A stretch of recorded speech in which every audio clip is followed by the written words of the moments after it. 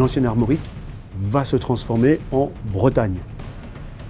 Sous Salomon, c'est là que la superficie de la Bretagne a probablement été la plus étendue.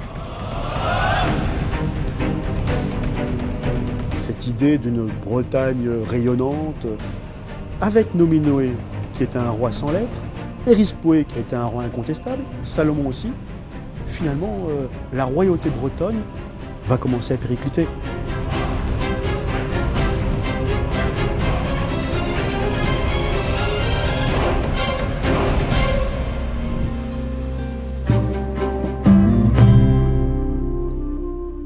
Quel est l'intérêt de comprendre les dates de la Bretagne médiévale? Il est important pour se structurer de comprendre pour aujourd'hui quels peuvent être des fanions, ce que les Anglais appellent des landmarks, des jalons, des bornes, pour pouvoir avancer, pour pouvoir se structurer avec un certain nombre de dates clés. Pas forcément des dates en tant que telles, mais c'est bien de les associer à des idées fortes. Et des idées fortes qui ne vont pas forcément être qu'historique. Souvent, on va avoir une vision assez chronologique, assez linéaire euh, du temps. Ce qui est intéressant, c'est de varier les sujets. On sait que d'un point de vue politique, d'un point de vue historique, les grandes dates que l'on va retenir, elles sont souvent écrites par les vainqueurs, euh, depuis César et la guerre des Gaules, malheureux vaincu, hein, Vae Victis. C'est l'histoire des vainqueurs. C'est euh, Suétone qui écrit la vie des douze Césars, et on a une lecture, une vision des Césars en fonction du choix politique qu'avait pu faire Suétone. Alors le choix des 15 dates que je vais retenir pour cette histoire de la Bretagne médiévale, c'est un mix d'histoire, de technologie, de spiritualité, d'art, pour essayer de comprendre et de se donner des jalons pour aujourd'hui. Ça, c'est ce qui me semble le plus intéressant de retenir par rapport au, au passé.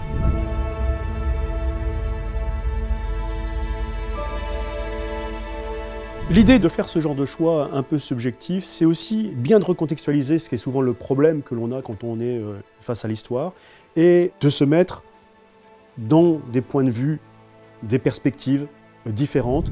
Et la première date que je choisirai est complètement dans ce reflet-là, puisqu'elle va parler d'Attila, et ça permet véritablement de s'obliger à avoir un regard critique sur les choses. Et ça, ça me semble particulièrement intéressant.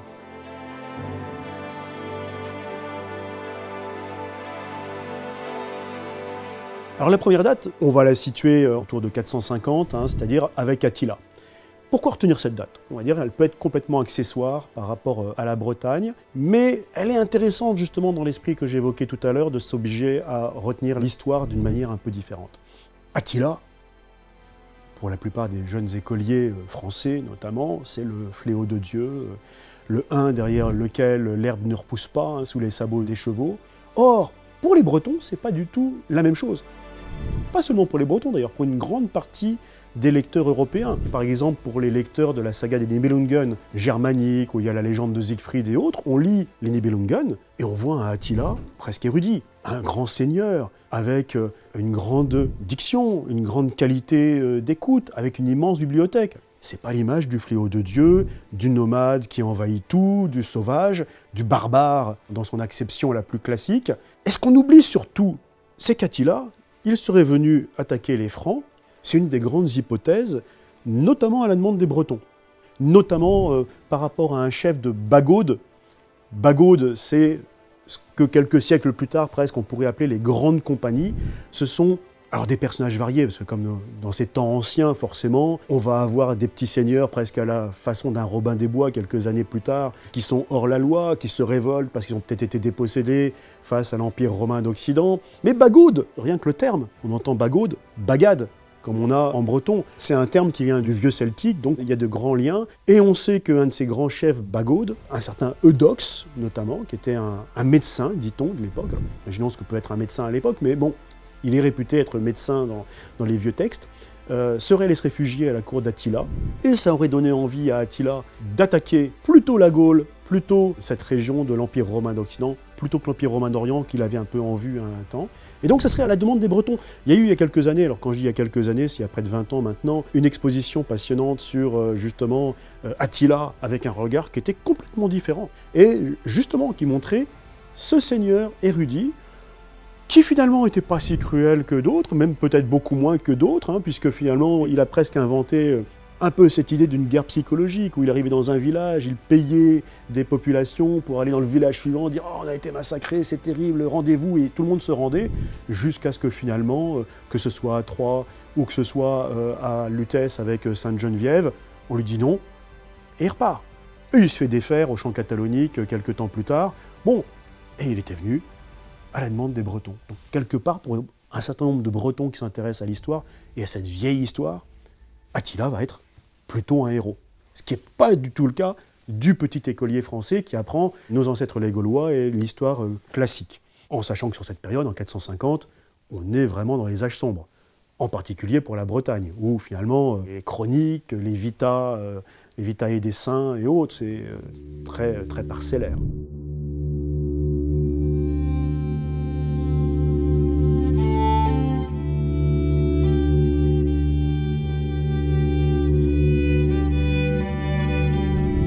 La deuxième date que j'avais envie de, retenir, parce que donc la première euh, amenait relire l'histoire et puis peut-être le positionnement donc de la Bretagne face aux étrangers, qui peuvent être donc les, les, euh, Francs euh, à, l'époque. La deuxième date, elle est plutôt située entre 482 et 485 et qui serait la création de l'abbaye de Landévennec. L'abbaye de Landévennec, on y reviendra quand même, parce que c'est un sujet quand même très important de la spiritualité en Bretagne, des premiers saints de Bretagne, mais cette abbaye de Landévennec, elle va être essentielle. Aujourd'hui, Landévennec abrite peut-être la plus belle bibliothèque de tradition celtique, avec des incunables absolument extraordinaires, des manuscrits extraordinaires. Elle va avoir un rayonnement formidable pour l'histoire de la Bretagne, mais même de son histoire culturelle, pas seulement spirituelle, vraiment culturelle. Et je retiens surtout cette date de 482-485 pour avoir l'occasion d'évoquer la ville 10. Ce que certains ont pu appeler, hein, il y a eu une exposition aussi au musée départemental de Quimper, euh, l'Atlantide bretonne, avec quelque chose de très structurant. C'est un des grands mythes euh, évoqués par euh, Théodore Hersard de la ville marquée dans le Barzaz Braise, avec l'engloutissement 10. Une histoire qui semble un petit peu ambiguë, comment cette princesse d'Ahude la princesse de la ville 10 serait contre la religion chrétienne, mais pourtant dans une époque, alors on ne sait pas si Corentin ou Guénolé sont véritablement acceptés euh, comme des maîtres à penser, des maîtres religieux, on ne sait pas comment est la société. Mais il y a une évolution de ce mythe qui est absolument passionnant, euh, surtout quand on le rapporte à cette thématique de l'Atlantide ancienne. Hein. Il faudrait s'entendre sur ce qu'on peut mettre derrière l'idée de l'Atlantide. Mais la ville 10 est très structurante. Is c'était une ville avec un rayonnement formidable. Il y a même eu une époque où les celtophiles, ce qu'on appelait ou même les celtomanes, qui avaient tendance à beaucoup rapporter des choses à la tradition celtique, à l'origine celtique, notamment au XVIIIe, XIXe euh, siècle, faisaient découler le nom de Paris, quand euh, la ville est devenue Paris après avoir été Lutèce, comme une origine qui aurait voulu dire pareil à Is tellement ça aurait été quelque chose d'important. Bon, il y a un aspect structurant pour cela, et c'est pour ça que je parle de Landévennec. L'histoire de c'est l'histoire d'une ville qui était la capitale de la Bretagne. Le roi qui y régnait s'appelait Gradelon, et sa fille Dahude aurait euh, été euh, une princesse soi-disant débauchée, en tout cas pas chrétienne, encore dédiée aux anciens dieux, et elle aurait donné la ville au diable. Dans d'autres chroniques, on va dire à Taranis, à des divinités souvent à cheveux roux, comme le dieu Thor, comme Indra chez les hindous. Donc une divinité à qui elle aurait donné les clés de la ville. Il aurait ouvert les digues et les digues auraient tout envahi. C'est là qu'il peut y avoir de l'ambiguïté parce qu'on peut se demander pourquoi, si c'est pour sauver la société qui était euh, païenne, pourquoi le dieu païen, pourquoi on aurait détruit la ville. Bon, toujours est-il que la ville aurait été engloutie, Gradelon aurait été sauvé par son euh, confesseur, peut-être, ou en tout cas son maître à penser qui aurait été Guénolé. Dahude se serait noyé, et Guénolé aurait emmené Gradelon justement dans euh, l'abbaye de Landévennec où il aurait fini ses jours, et on peut encore euh, trouver tant le tombeau de Gradelon que le tombeau de, de Guénolé euh, dans les ruines de l'abbaye de Landévennec, encore aujourd'hui, dans, ces superbes ruines de la presqu'île de Crozon.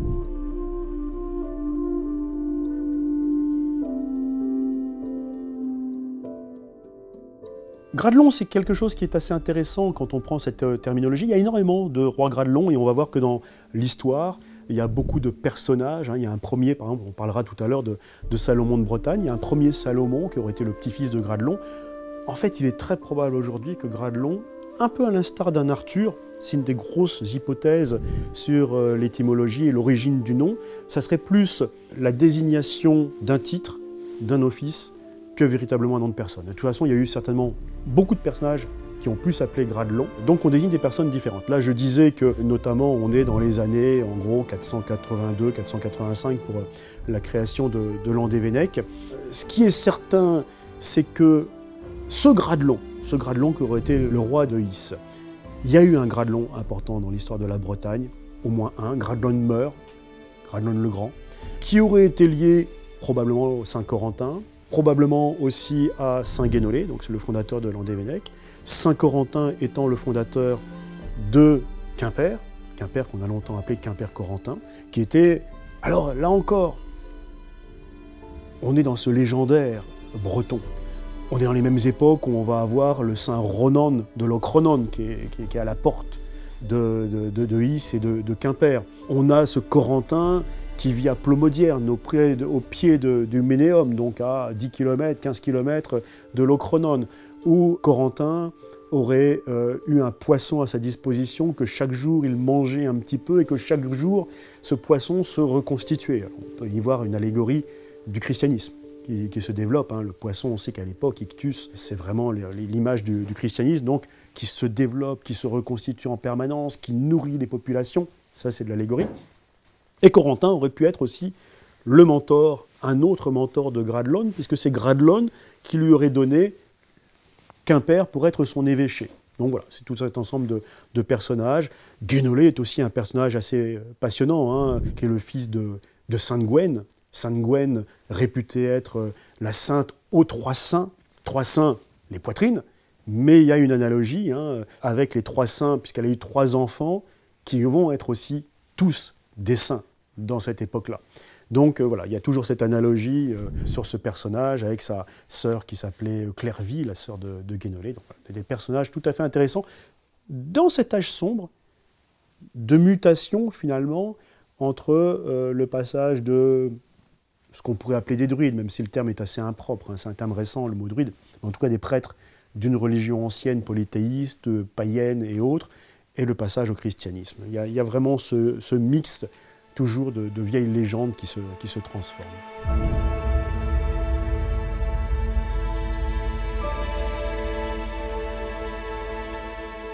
La troisième date, c'est moins une date qu'une période et qui est un peu dans la continuité. Hein. 482, on était au 5e siècle. Là, j'ai voulu choisir Landévennec, on pourrait dire que c'est religieux, mais c'était surtout pour me concentrer sur Is. Et la troisième date, elle est plutôt, on va dire, du 5e, 6e siècle, l'époque des saints fondateurs, les sept saints fondateurs de, la Bretagne, qui pour l'essentiel vont venir des îles britanniques, principalement du Pays de Galles, peut-être en partie de l'Écosse, mais plus avec d'autres saints importants. Je pense à Saint Gildas de Ruisse qui viendrait de l'Écosse. Beaucoup viennent du Pays de Galles. Alors ça nous permet à la fois de parler de cette spiritualité bretonne qui est essentielle et d'émigration bretonne.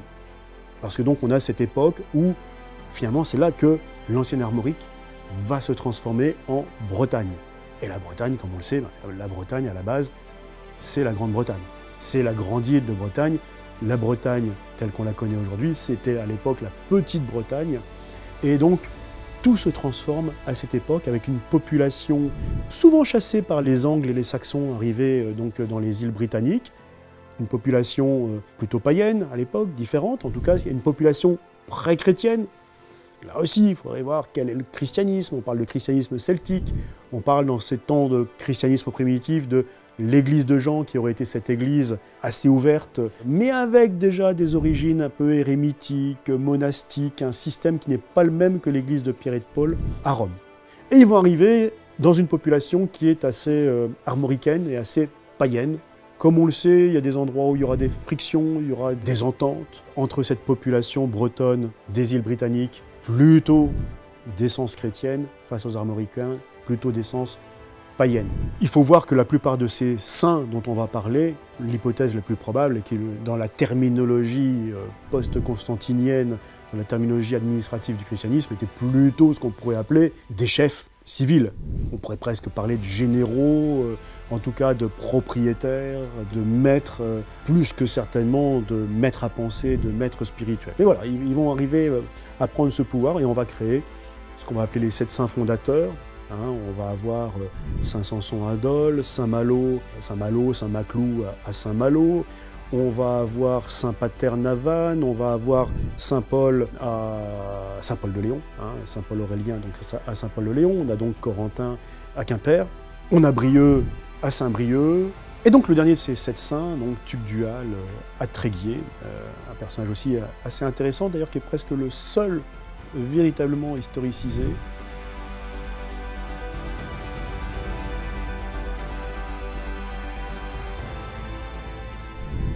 Alors la quatrième date que j'ai sélectionnée, ça serait le 22 novembre 845. C'est la date de la bataille de Ballon.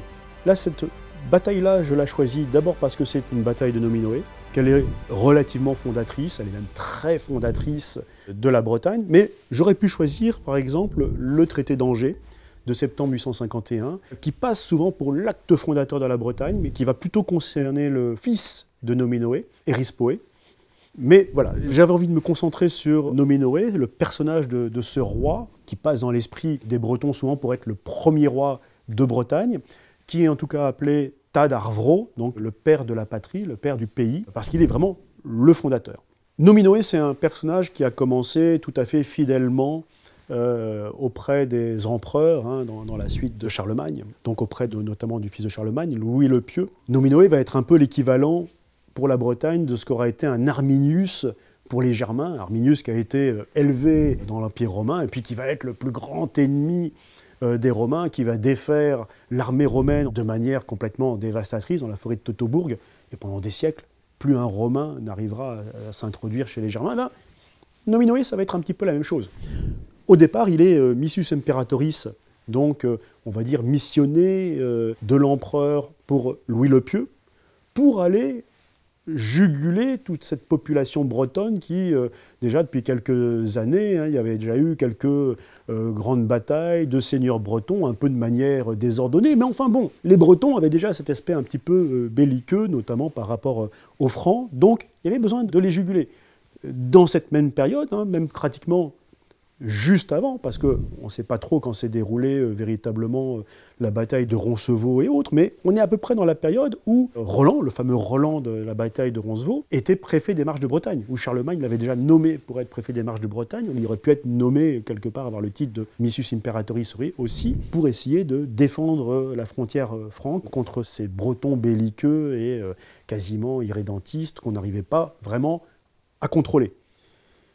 Donc, Nominoé sert, on va dire fidèlement, euh, pour au moins maintenir le calme dans la province de, Bretagne. Et puis, euh, donc, euh, en, 840, Louis le Pieux meurt, monte sur le trône Charles le Chauve, qui va être manifestement pas de la même trempe que son père. En tout cas, on va considérer que Nominoé va en profiter. Hein. Il vient d'être nommé quand même par euh, Charles le Chauve, alors plus Missus Imperatoris, mais Missus Dominus euh, Ducatis, qui va être pratiquement l'origine du mot duc après. Mais donc il est nommé, euh, bon, il est mission de mettre quelque part en, chef. Hein. Bon, le, titre importe peu, mais Nominoé, dès ce moment, commence à vouloir prendre son indépendance et finalement épouser la totale cause de son peuple breton contre les Francs. Et il va y avoir tout un ensemble de batailles, je vais passer sur les, détails, hein, mais il va reprendre Nantes, il va reprendre Rennes, il va même attaquer le Maine, qui fait que, au bout d'un moment, Charles le Chauve ne peut pas faire autre chose que réagir. Il le fait donc en, 845. Et là, euh, Nominoé va être très habile, il connaît bien sa région. Il va attirer Charles le Chauve dans la région marécageuse, un peu au nord de Redon, un peu à côté de ce qui est aujourd'hui la, ville de Bain-se-Rouste, à un endroit qui s'appelle Ballon. Et là, donc, le 22 novembre 1845, il va totalement défaire l'armée de Charles le Chauve, qui n'a que comme seule solution pour s'en sortir de fuir euh, piteusement. Et en 846, on va aboutir alors à une date qui n'est pas totalement déterminée, a priori même le lieu n'est pas complètement déterminé, mais a priori ce serait Dole de Bretagne, donc à un traité de Dole où Charles le, Chauve doit accorder le titre de Dux, donc il va donner euh, duc à euh, Nominoé. Et là, on va dire que c'est euh, un des moments fondateurs où on a un seigneur quasiment indépendant qui est donc Nominoé. Il va continuer à mettre la pression sur les Francs et sur Charles le Chauve jusqu'en 851, où là, en 851, il meurt. Et puis, donc, c'est son fils Erispoé qui reprend la suite qui va défaire de nouveau, parce que la plupart du temps, ce sont quand même les Bretons qui arrivent à défaire euh, les Francs, et il va les défaire donc à la bataille de Janglan. Là, il arrive à défaire totalement les armées, c'est donc fin août 851. Et là, Charles le Chauve est obligé d'accorder l'indépendance en septembre 851 aux Bretons. Et donc, euh, Erispoé devient le roi le roi de Bretagne. Et là, il est vraiment, lui, en titre, le premier roi de Bretagne. Quelque temps plus tard, on va même avoir le pape qui va lui octroyer la couronne d'or. Il est vraiment, avec toute la puissance, un souverain. Le cadre des échanges, d'ailleurs, avec le pape, ça va être quasiment un, feuilleton qui va durer euh, plusieurs décennies, voire plusieurs siècles, qui est la volonté de rendre indépendante la religiosité, la religion bretonne, catholique, des Francs. Parce qu'à l'époque, la religion bretonne, ce qui est des évêques sans les être vraiment, ce sont donc des évêques dépendants de l'archevêché de Tours, donc des évêques carolingiens, donc encore soumis quelque part au pouvoir carolingien, donc pas avec l'indépendance bretonne. Et il va y avoir la volonté de faire reconnaître des évêques bretons. Le successeur d'Erispoé, Salomon, poursuivra le combat, mais c'est un combat qui n'aboutira quasiment que pratiquement au XIe siècle. On n'a pas encore cette indépendance. Mais Gentiment, le pape euh, prête une oreille attentive aux revendications d'Eris Poé et lui accorde donc cette fameuse couronne. Mais voilà, donc on aurait pu choisir le traité d'Angers. Le traité d'Angers, là, qui crée quasiment euh, comme roi, qui crée véritablement la Bretagne indépendante, était quelque chose de fondateur. C'est souvent l'acte de fondateur de la Bretagne. Mais la bataille de Ballon est souvent quelque part euh, aussi l'autre acte déterminant. Et puis il y a le côté euh, de Charles le Chauve, fuyant piteusement sur le, champ de bataille. Et aujourd'hui encore, euh, la bataille de Ballon est très largement célébrée en Bretagne.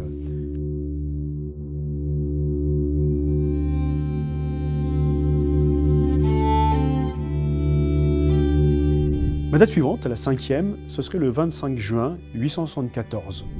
Cette date, c'est la date de la mort du roi Salomon de Bretagne beaucoup souvent ignorent, même parmi les Bretons, qu'on a eu un roi Salomon. Et pourtant, c'est peut-être le plus grand de nos rois. Alors pourquoi je choisis cette date? Cette date, elle me sert surtout à évoquer les frontières de la Bretagne. Vous voyez, des jalons, si on parle de frontières de géographie, là on est particulièrement dans les jalons. Mais c'est assez intéressant parce que sous Salomon, c'est là que la superficie de la Bretagne a probablement été la plus étendue.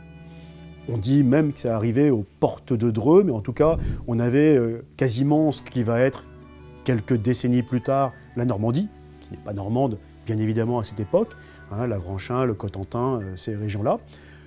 On va avoir tout ce qu'on appelle le pays de l'entre-deux-mers, la Mayenne, la Sarthe, enfin voilà, il y a toute une immense superficie, ça descend très bas vers, euh, vers la Vendée, et là, véritablement, sous Salomon de Bretagne, qui va régner de 857 à 874, donc on a la plus grande superficie de la Bretagne. Pourquoi je choisis euh, sa mort? J'aurais pu choisir euh, la date de son accession au trône en, 857, mais elle est assez symbolique, cette mort. D'autres dates sont des batailles, d'autres dates seront des traités, il y a différentes dates possibles. Là, c'est la mort.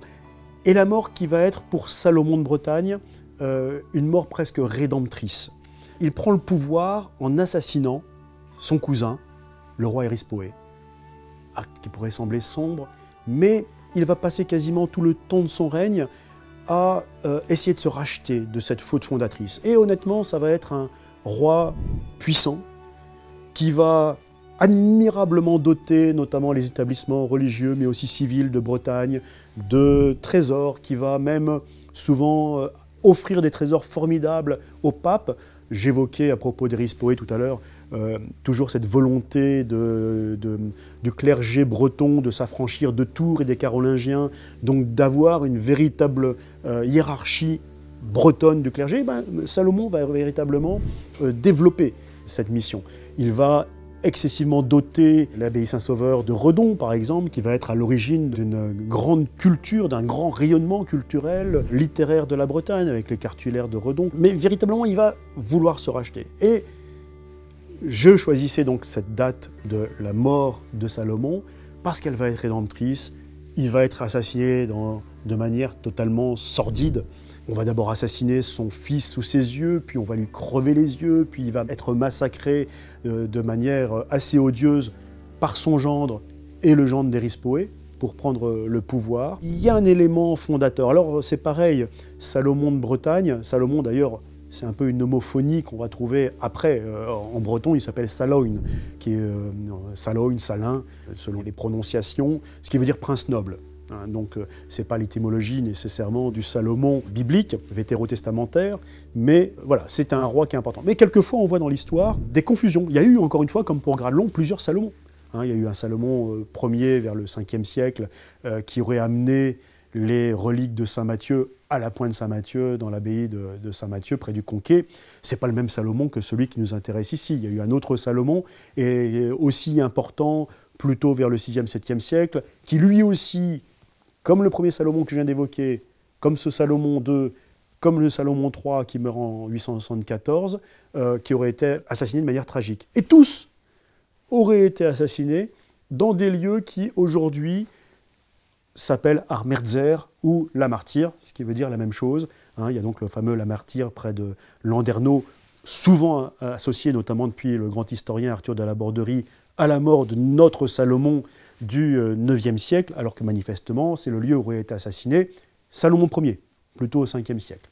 D'ailleurs, on, ne sait pas trop, alors que la capitale de Salomon III était plutôt du côté de Plélan-le-Grand, comment il se serait retrouvé attaqué à Plélan et finissant à des centaines de kilomètres de là, tué à la martyre, alors que bon, il a visiblement été tué du côté de Saint-Maxent, euh, Plélan, enfin autour de la forêt de Brocéliande, de la forêt de Pimpon. Donc voilà, il meurt à ce moment-là. Et c'est véritablement aussi un moment rédempteur. Et puis donc vraiment cette idée d'une Bretagne rayonnante qui intègre, alors disons-le de manière plaisante et amusante, le site du Mont Saint-Michel, qui commence en 712, 713 euh, à se bâtir. Donc là, pour le coup, le Mont Saint-Michel est en Bretagne sans aucun doute possible. Hein, et de toute façon, la Normandie n'existait pas à cette époque-là. Ça, c'est pour l'anecdote et pour le petit moment plaisant. Mais voilà, Salomon était vraiment un, souverain euh, important dans le jalon de la Bretagne. Et on va dire que finalement, avec Nominoé, qui était un roi sans lettres, Erispoé, qui a été un roi incontestable, Salomon aussi, finalement, euh, la royauté bretonne va commencer à péricliter. Ces deux assassins, Pasqueten et Gurvant, vont euh, vouloir prendre le pouvoir simultanément, mais ne vont pas s'entendre, vont créer deux lignées, et à partir de là, la royauté bretonne va finalement s'arrêter très très vite avec euh, Alain le Grand. Il va y avoir une coupure pendant quelques décennies. Le petit-fils d'Alain le Grand va revenir, on va en dire un, un mot dans quelques instants, Alain Barbetorte. Mais Alain Barbetorte ne pourra jamais retrouver le titre de roi et ne sera qu'un duc, ce qui est déjà bien. Quelque part, la fonction, le pouvoir va être le même, mais ce n'est pas le titre de roi. Avec tout ce qu'on peut induire symboliquement de puissance, de sacralité de la fonction, il est duc. Il, va être un, chef. Donc, avec Salomon, finalement, s'arrête presque la royauté glorieuse de, de la Bretagne il va y avoir quelques escarmouches qui vont durer euh, très peu de temps pour euh, donc aboutir à Alain le Grand.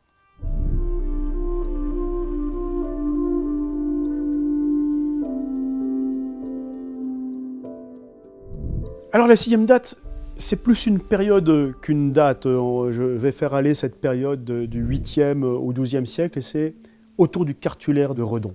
Pourquoi le cartulaire de Redon, au 8e siècle, euh, donc euh, Saint-Sauveur euh, va commencer à se développer à Redon, l'abbaye Saint-Sauveur? Quelque temps plus tard, on l'a vu avec Salomon, elle va avoir une aura, un rayonnement tout à fait particulier. Le cartulaire, il est important, ce cartulaire de Redon. Qu'est-ce qu'un cartulaire? C'est un recueil avec des cartes, des chartes, un certain nombre de documents fondateurs. Donc, ce cartulaire de Redon va regrouper des documents du 8e au XIIe siècle. Et il va être essentiel notamment pour fonder l'anthroponymie, la toponymie, la structuration d'un État en tant que tel, qui est sorti finalement quelque part des âges sombres, qui rentre dans son rayonnement culturel, littéraire, hein, pour avoir une harmonie justement par rapport aux événements purement historiques, euh, militaires. Là, on est dans le rayonnement.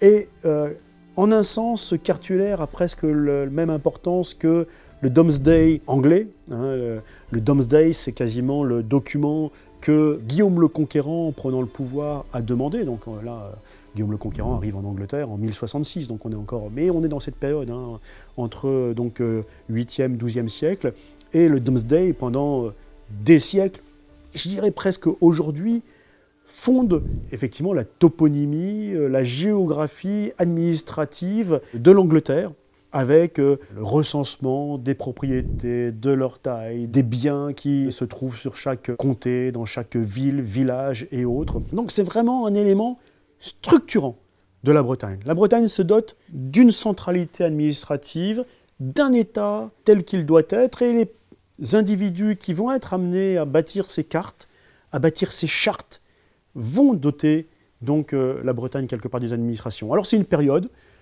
il y a sans doute moins à en dire, mais en termes de jalons, le cartulaire de Redon me paraît véritablement un élément essentiel de l'histoire de la Bretagne.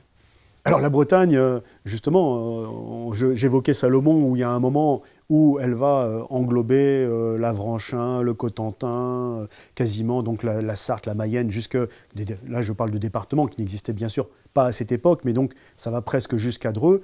Mais quand Salomon disparaît, Gurvante et Pasquetaine qui lui succèdent vont déjà recommencer à perdre une grande partie de ces domaines et on va revenir vers ce qu'on appelle la Bretagne historique, donc qui couvre euh, les cinq départements actuels que sont euh, le Finistère, les côtes euh, d'Armor, l'île-et-Vilaine, le Morbihan et la Loire-Atlantique. On est à peu près, pas dans ces frontières-là, mais on n'est pas loin d'être dans, dans, ces frontières.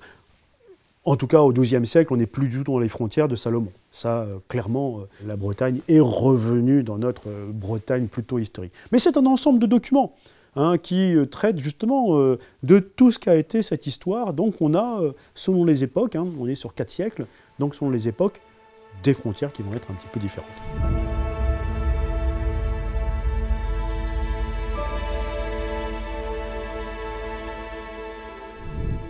Alors la date suivante, la septième, elle va concerner un, autre souverain important de, de, Bretagne, qui est Alain Barbetorte, Alain II Barbetorte.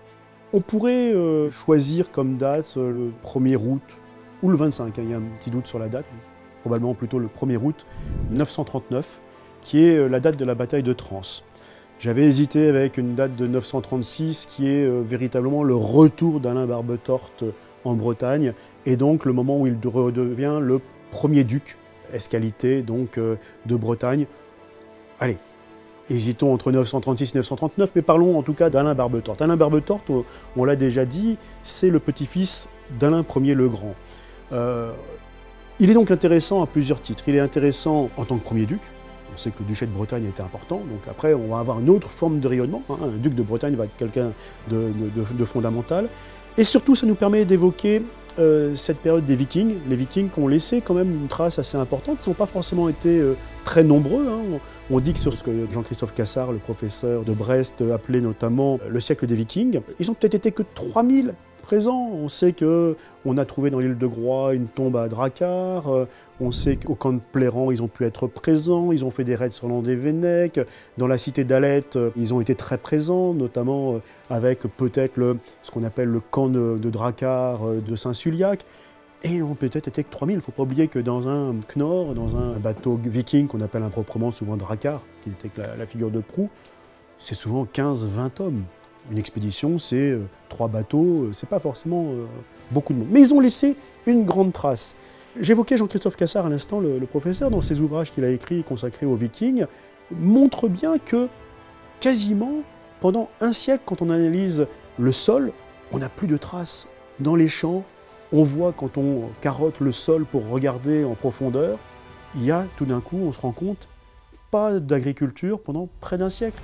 Dans les cimetières, quand il y a des, empilements d'ossements, on a pratiquement pendant un siècle, avec l'empilement de la terre, on voit qu'il n'y a plus d'ossements. on a presque une désertification de la Bretagne dans ces périodes, où on sait qu'un certain nombre sont partis soit effectivement plus vers la Neustrie, donc plus vers euh, l'équivalent de euh, justement la future Normandie, de la Mayenne, dans ces régions-là, ou pour beaucoup sont partis en Angleterre, c'est le cas d'Alain Barbetorte, donc qui lui euh, va se retrouver à la cour d'Athelstan, et va donc revenir quelques temps plus tard. Et tous ces siècles-là, d'ailleurs, le pouvoir véritablement de Salomon de Bretagne qu'on évoquait tout à l'heure, il s'est fait dans les combats contre les Vikings, qui commençaient déjà quasiment avec Nominoé. Les successeurs vont affronter les Vikings. Alain Ier le Grand va être appelé le Grand, justement, grâce à sa grande bataille, sa grande victoire de Questembert contre les Vikings. Mais une victoire qui lui permet de s'appeler le Grand, et puis il va finalement être vaincu par les Vikings.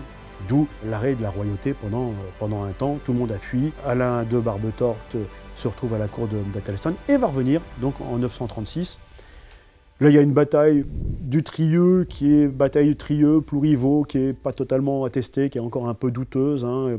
Si vous allez du côté de Plourivaux, il y aura des plaques euh, disant qu'il y a eu une grande bataille, mais on n'est pas très très sûr qu'elle ait réellement eu lieu.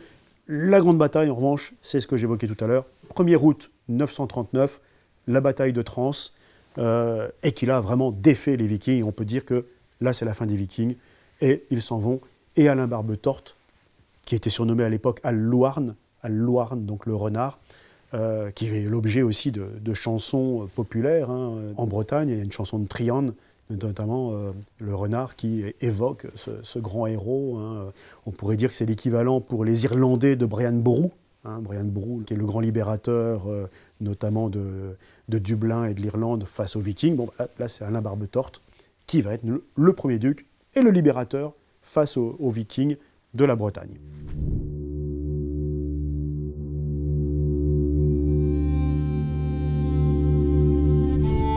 La huitième date, là aussi, ne va pas amener euh, de, grands développements, mais quand même, elle est assez symbolique, c'est 1084.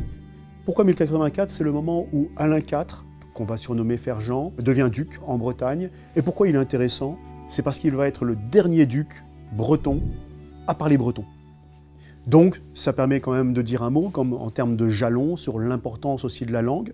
La langue va évoluer, la langue va se transformer, la fameuse duchesse Anne ne parlera jamais breton, mais donc les ducs suivants ne vont euh, jamais parler breton. Il est le dernier, il est né à Châtelain, donc en, plein pays euh, bretonnant, euh, à l'extrémité occidentale du Finistère, Penarbed plutôt, le début de la terre pour les Bretons, la fin de la terre pour les autres.